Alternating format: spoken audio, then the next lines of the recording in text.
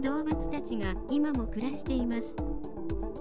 ゴーレシア周辺の赤道直下の海で、サンゴ礁とリーフフィッシュが氷河時代が終わった後に多様化しました。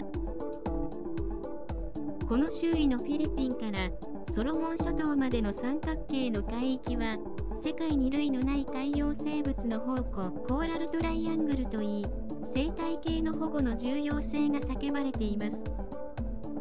コーラルトライアングルの海域のほとんどは、インドネシアの EEZ 内にあります。